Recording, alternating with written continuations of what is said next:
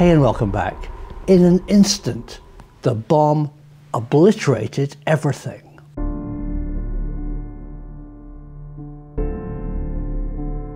The tower it sat on, the wires strung around it, the desert sand vaporized.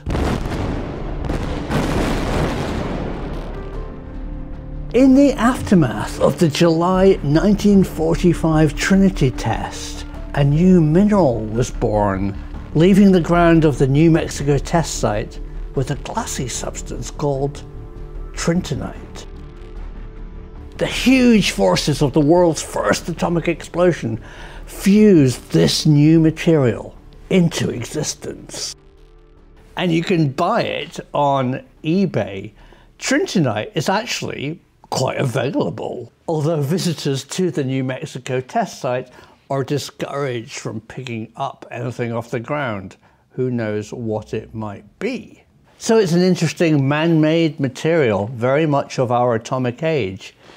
But scientists have discovered something very strange about some of the samples.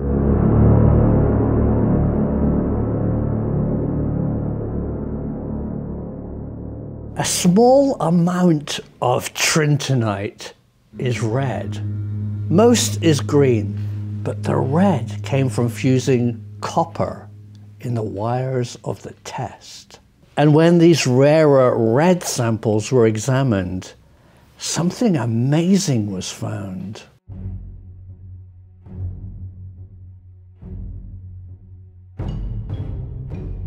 A new form of mineral unseen on planet Earth. Three-dimensional quasi-crystals. Just look at this.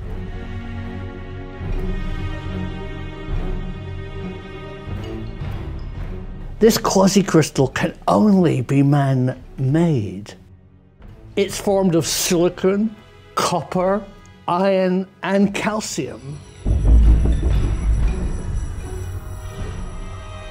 Nowhere on Earth has all those disparate materials ever come together and been fused into a new mineral. A mineralogist from Caltech said, It's amazing. Nothing like this has ever been seen before.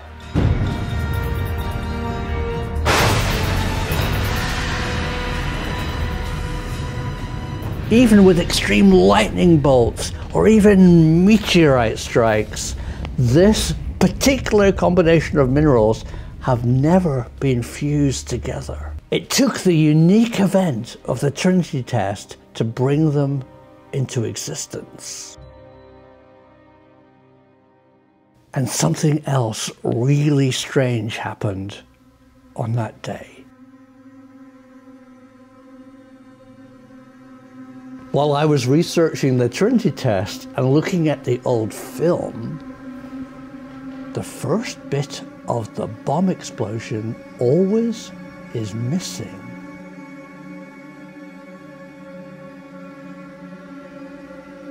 The Los Alamos scientists needed to study the first nanoseconds of the explosion, but no visible light was produced.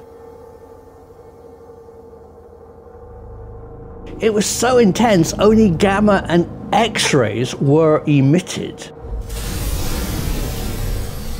Look again at this classic footage and you'll notice it's dark at the start and then light photons appear.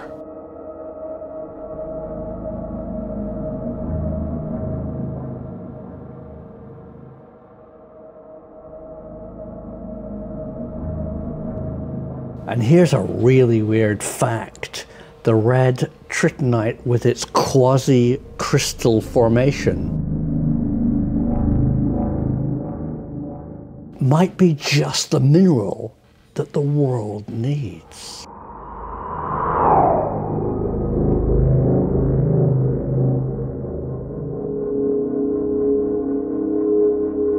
To unlock the secrets of room temperature superconductivity.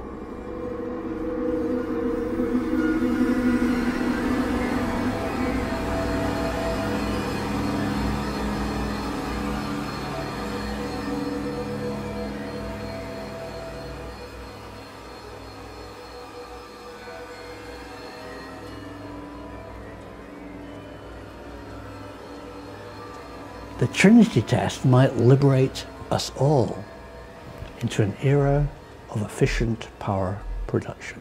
The truth is out there.